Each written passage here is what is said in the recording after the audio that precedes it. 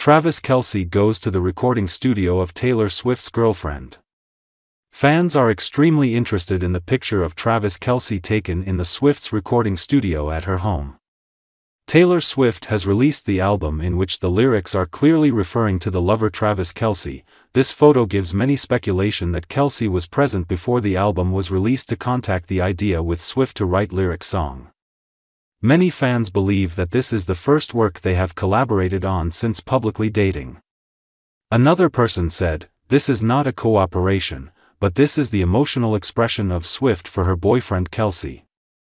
The next person, Kelce is also very able to compose the main music he also has his own song and he often sings in an important NFL victory.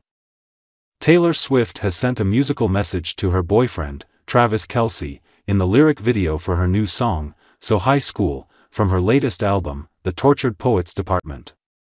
The pop star gave a subtle nod to the Kansas City Chief star by highlighting specific initials within the lyrics. In the verse, cheeks pink in the twinkling lights tell me about the first time you saw me, the initials T and K in twinkling, as well as T and S in lights, appear in a soft pink shade at the 43 second mark, suggesting a special meaning. This subtle detail caught the eye of one fan, who commented, at 043, the T and K in twinkling and the T and S in lights are a light shade of pink.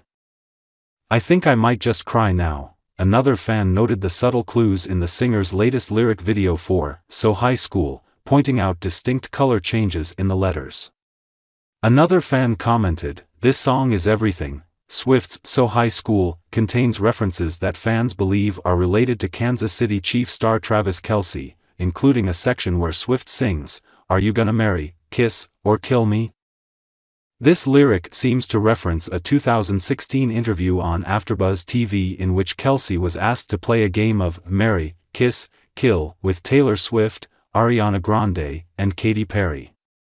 His response at the time was, Ariana, sorry, love you, but You're Gone, for Kill, followed by Taylor Swift would be the kiss and Katy Perry would be the marry. In another part of the track, Swift sings, It's just a game, but really I'm betting on all three for us too.